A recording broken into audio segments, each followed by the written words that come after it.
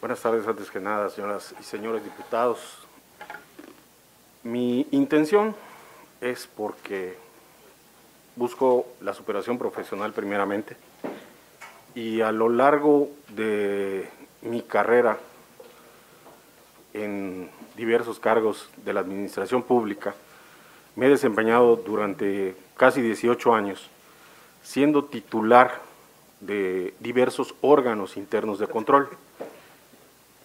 Eh, entre ellos, eh, ya, ya tuve el privilegio y la distinción por parte de la honorable decimatercera legislatura de haberme nombrado Contralor Interno del Tribunal Electoral de Quintana Roo.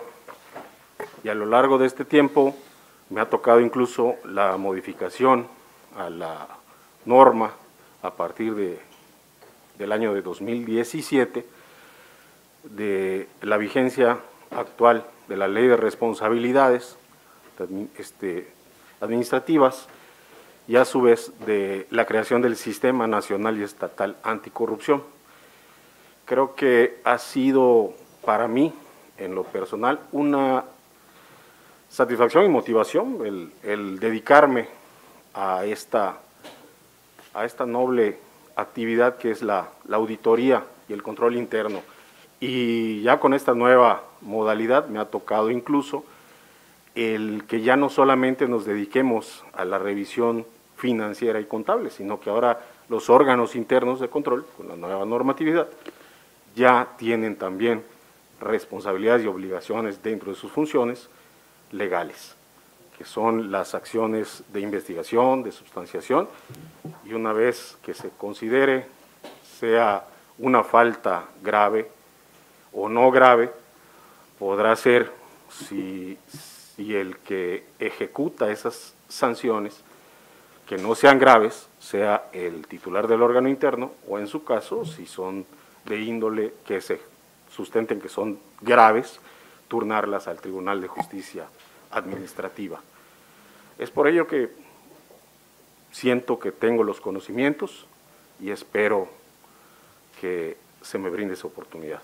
Es cuanto. Muchas gracias, diputados compañeros. ¿Alguien que guste hacer alguna pregunta al respecto? Yo quisiera eh, preguntar, considerando que el OIC es un ente autónomo dentro del, del IECRO, ¿cuál sería su postura frente a las instrucciones que dicte el titular del instituto? Dentro de un marco, yo creo que de respeto, debemos de marcar esa línea precisamente de respeto. Yo creo que las cuestiones administrativas electorales son parte del titular de ese, del instituto electoral, pero las funciones del titular del órgano interno son totalmente ajenas. Entonces, yo creo que ahí eh, debe de haber esa, ese acuerdo de respeto y al menos de mi parte, así procuraré que siempre sea. Actuar en base a la norma y con el respeto que haya con todas las autoridades, no solamente el titular, sino con el Consejo General del mismo instituto. Es cuatro. Muchas gracias. Ok.